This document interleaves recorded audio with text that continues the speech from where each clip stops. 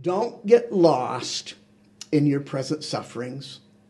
Look at creation. It's groaning in great expectation for the revelation of the children of God. We groan, we groan, but we don't groan without hope because of the promises of God. And then finally, uh, Paul in this chapter would call us not only to look around at creation and its example or to look ahead to what God has promised, but also to look up, to look up for the help that we need in our present time, in the midst of our present suffering. Hear the word of the Lord uh, from Romans chapter 8 at verse 26 and 27. Paul writes, In the same way, the Spirit helps us in our weakness. We do not know what we ought to pray for, but the Spirit Himself intercedes for us through word, wordless groans. And he who searches our hearts knows the mind of the Spirit because the Spirit intercedes for God's people in accordance with the will of God. Imagine that. The Holy Spirit who lives in us, who's the first fruits of what is to come. One of the works that he accomplishes is to help us in the midst of our trouble, in the midst of our suffering and so we're to look up and consider what the Holy Spirit does. He he groan creation groans in sighs and it waits for restoration of all things. Uh, the Christian, you and I groan and sigh as we wait in hope for the restoration of our bodies, the freedom from pain, the freedom from suffering, the freedom from death.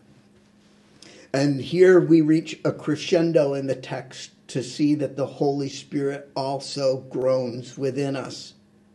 But he groans silently, and his groans are intercession.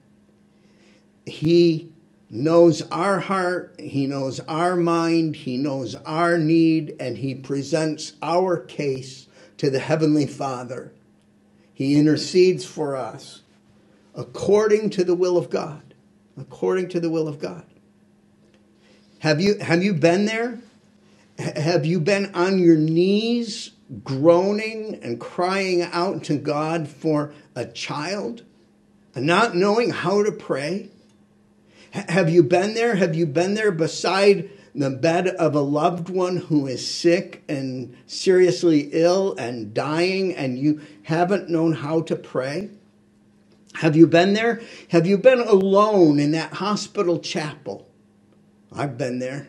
I've been in that hospital chapel in the middle of the night praying for a mom who was hemorrhaging, and another time praying for a wife who was in a coma, and praying and yet not knowing how to pray, just pouring out my heart to God, not knowing exactly what to ask.